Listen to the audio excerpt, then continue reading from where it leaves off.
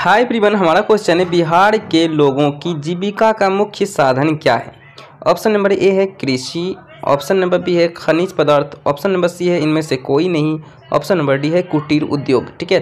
तो बिहार के लोगों का जीविका का जो मुख्य साधन है, स्रोत है वो है कृषि, यानी एग्रीकल्चर तो ऑप्शन नंबर ए हमारे इस क्वेश्चन का करेक्ट आंसर हो जाएगा कृषि, ठीक है? तो आज के लिए इतना वीडियो को लाइक करें, चैनल को सब्सक्राइब करें, मिलते हैं नेक्स्ट वीडियो में सो थैंक यू